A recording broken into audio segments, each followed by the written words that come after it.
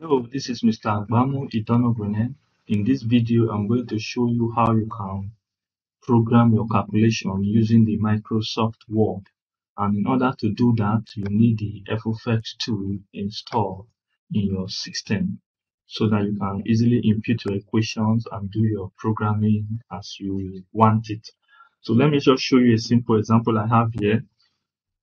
Let's take an example on, uh, let's say, area of a circle. Let's just do the simple example. Let me demonstrate it with this. Okay, so let's go to fx equation. So let's input our area now. So a is equals to pi r squared. So as you put pi, fx will give you the symbol of pi. So let's go to a new line. All right. So okay, let me just take this to Microsoft first. So we are here now. Okay, let me delete this one. So let's move on. Let's let's define the value of r that we are going to be changing in order for our calculation to appear. So go to fx again. This time around, you need to define a parameter. And to define parameter, you need the dollar sign. Then put the letter you want. So it's radius I want to change. Then use a sequence parameter. So we have so many parameters in fx, but I want to use sequence in this case. In the sequence, I want my first radius to be 7, and I want to do it in multiples of 7. So the last radius, I want it to be 49. It depends on what you want in your class, and I want it to move in step of 7. So my parameter will be moving from 7 as the lowest, and to stop at 49, just like that, in step of 7. Alright so that that's okay. So if i do shift and dollar sign r you see seven has appeared. Then i put my unit centimeter. Then let me define it. That means uh, r is equals to this. So this is what i want. Let's put it in microsoft word. Okay so it's in microsoft word now. So we say let r equals to 7 centimeters. So i've defined my first value for r. Then let's move on to the next line. All right so we go to fx then this time let's put our calculation. So area equals to pi then times r squared. But since we have already defined our radius to be dollar sign r so you use your dollar sign r squared like this and you will go to the microsoft word all right so before i move on you see the dollar sign have not been assigned to this radius. So to assign this radius to this dollar sign I you need to copy your radius come to this place copy parameters then come to this place click on it then paste it there.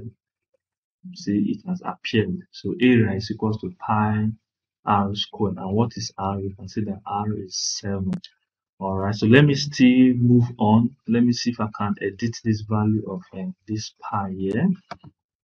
So let's edit. Okay let's see let's see. Okay, let me let's go to a new line first. So we say pi is this.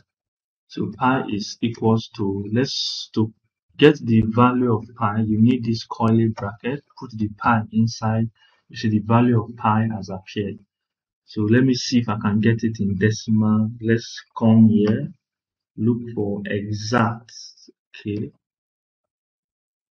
okay it didn't come out as decimal. Okay let's leave it like this. Let me see.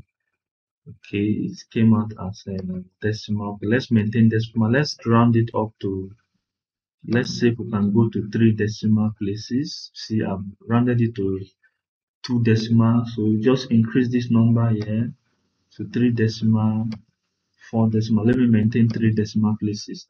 Okay pi is equals to 3.142 then the next step of my calculation is this. All right let's go back to word and see how it appears. Okay that is that? So i want this one as well. All right so let r be this. Then okay let's okay it's all right like this so this is our first line of calculation let's edit it and go back that means i need the value of my pi here So I need to use the curly brackets here. And the value of pi will appear here. So that is the next line. So the next line now is now going to be what is the result when we multiply this? We have your A equals to pi times we use the dollar sign now r square. Then since I want the result of this to appear I'll put my curly bracket in the end and in the front. So you can see the result. Don't forget to put your unit centimeter square. So this is the result of that. Then let's go to Microsoft now and put it there. So this is your result when you have to solve this so the programming I'm talking about now if I'm in my class solving area of a circle, this is the formula for area of a circle. Let radius be 7 centimeter. Then pi is 3.142. Therefore, area is equals to pi times 7 square. Then area is equals to 157.938 centimeter square. So if I want to change this value without me imputing another value for 7, doing the calculation again, wasting time, since I've already programmed everything here. It's already been programmed now. All I need to do now is just click on this one, click on regenerate. It will tell us to save first. It's regenerating the parameter. Let's save it into this document now. Just save it. So after saving your work, normally you are supposed to save your work before you do anything. Alright, you see the next radius now is 14. So I don't need to impute 7 and start doing this calculation again. So when radius is 7, area is going to be 615.752 centimeters square. So to do it now, all I just need to do is only this one I'll be regenerating. Just click on R equals to 14 centimeter, click on regenerate to regenerate it, change the value of your calculation and you're good to go. You see now 1385 same thing, I want to change this radius, just click on it, regenerate. Change, you see that you have programmed your calculation using Microsoft Word. Your result will keep changing as long as you keep clicking on this, the area will keep changing. You can even use this in your work to monitor your work. You see the variation of radius and area. As radius changes, what will happen to the area? The parameter that you define, you can define the parameter using any set of numbers you like. And you see that your calculation will go as you want.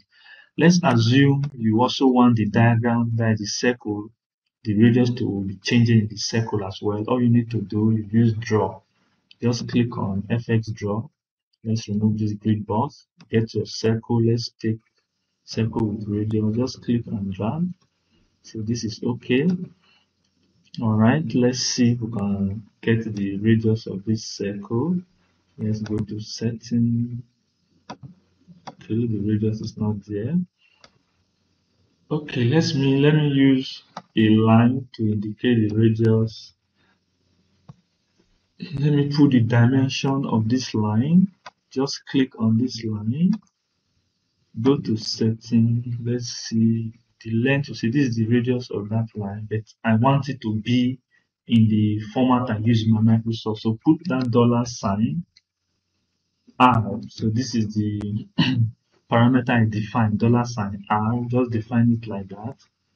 Let me increase the font size. Let me increase it to something like 18 okay so we are okay just put okay.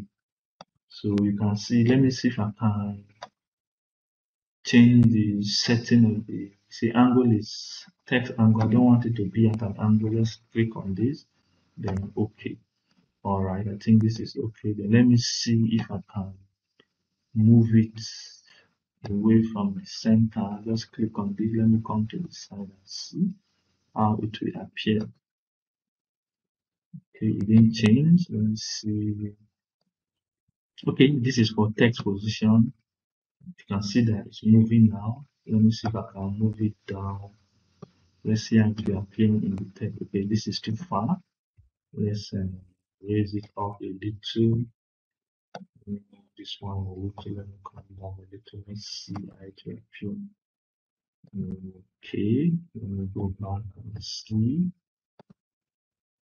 Alright, I think it's okay. Let me just rise it up a little. It up a little. Let's see. Okay, I think it's okay like this. So my radius, I will define it here. Let me define my center of my circle. Just click on that and drag. So I don't want the letter to be A. Let's edit it. Let's change the letter to be O. So circle O. Let's move it out a little. Alright, I've done this. So this is the circle simple diagram. Go to Microsoft, click on this. The circle will come to your Microsoft Word. Okay, I don't want the diagram to be here. I want it to be somewhere here. Alright. So I can also program this diagram so that if I change this radius, it will come here and the radius will be changing here when my calculation will be changing automatically. So how do I do that? So click on this radius go to copy, copy this, then come to this one, click on this, then come to paste, paste it. So it's supposed to come out now. Yes, it has appeared. You see 28, 28. So let me go and edit this. Just click on this, go to edit, then this is your work.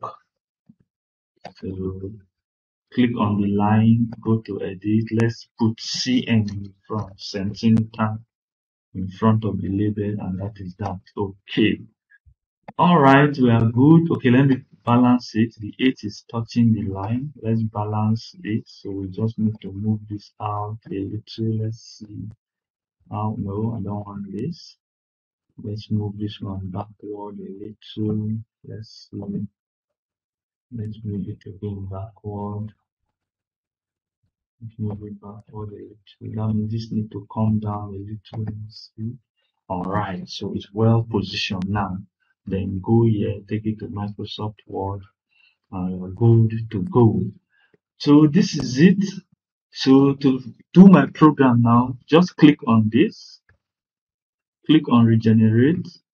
The radius will change, the radius here will change, and your calculation will change. So in this, you can see that I've done a simple calculation in my Microsoft Word.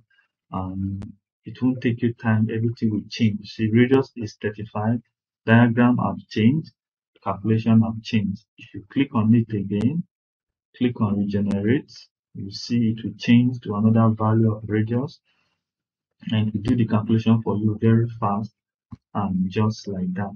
So this is all about this video, all have for us. You see, radius have changed to 42. Diagram I've also changed.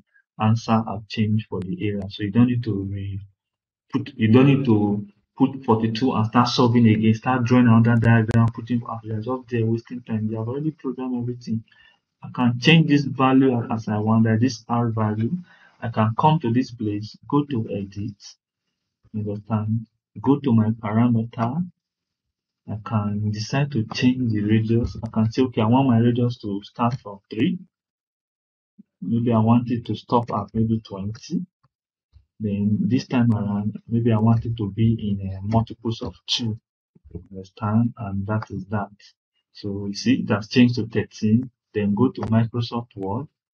See, it's now 13. So do this. Click on this regenerate.